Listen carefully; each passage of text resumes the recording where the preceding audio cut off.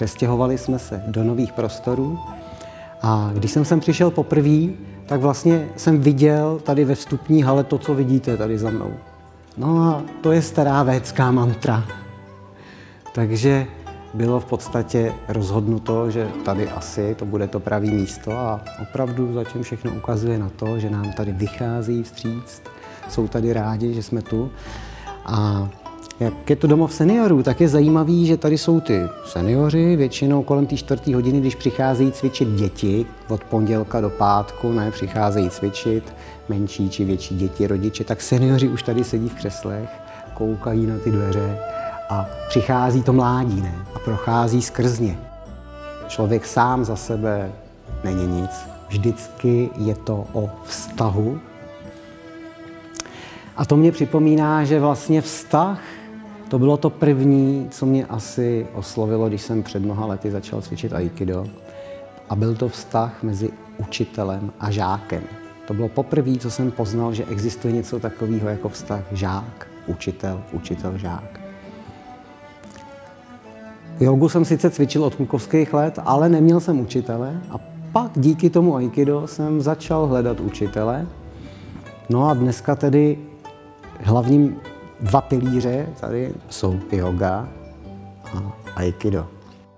Yoga v současné době tady má pět cvičení ráno a tři cvičení odpoledne. To je dohromady osm cvičení týdně. Takže tady je veliká možnost si vybrat ty časy a kdy chodit. Proč taky aikido a yoga podle mě jdou krásně dohromady? Aikido je sice bojový umění, ale možná můžete vnímat rozdíl mezi tím, když řeknu bojové umění, anebo umění boje. Takže Aikido není umění boje, je to bojové umění. A při cvičení Aikido je nejdůležitější nenásilí. Žádný násilí, prostě žádná práce svalů a nebejt být rychlejší, bytější, mocnější nebo tak, ne. Používat proudění kosmické energie k tomu, aby to všechno krásně plynulo v těch technikách. No a yoga, Raja yoga, osmistupňová cesta, její první pilíř yama a její první zásada ahimsa, neubližování. Takže neubližování to je to, co vlastně prorůstá nebo mm, žije ve všech těch cvičeních. Člověk se učí při józe, samozřejmě cvičí sám, tak cvičí nenásilně, volně, neubližuje si.